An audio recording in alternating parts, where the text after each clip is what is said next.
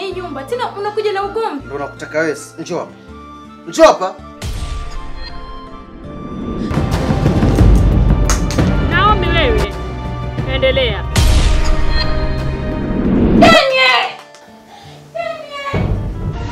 Manchester hino hapa, Arsenal nao ina hapa, na bao washafungwa. Mbona lakini naume una hivyo wewe? Eh? Yaani wewe ukishakula tu basi utaanza kuleta tabu.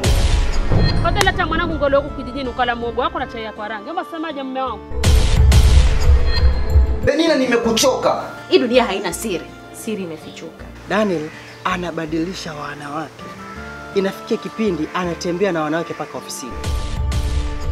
Daniel huyu huyu alikuja hapa na makoti yake makubwa makubwa, ametutumuka kweli kweli, achukua bibi ampeleka mjini, kumbe yeye yuko sebuleni, wewe kwa chumbani, si ndio hivyo? Naondoka, ila naomba ukajiangalia hali yako ya afya. Mtoto wa kike akishavunja ungo ni aolewe, baba atie pesa mfukoni. Leo hii mimi mkeo, hakuna hata siku moja uliogusa sehemu ya mwili wangu. Sikuelewi Tabu. Najuta kwa familia ile, hawana akili. Wewe mwenyewe wajua si picha hii iko hivyo so? Naathirika alafu si wanaambia tu tukapime. Sasa kama hauna haja na mimi, haina haja kunitesa, maana mimi nina kwetu.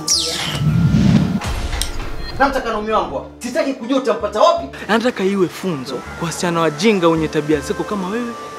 Kuna maswala ambayo nimewadili na kuelezea, kama asifanyi kumtimizia. Dere unaweza kumtukana mimi. Wewe unaweza nioa mimi. Daniel akija atajua mimi ndio mamake Naomi. Deni ndio ni shujaa. No.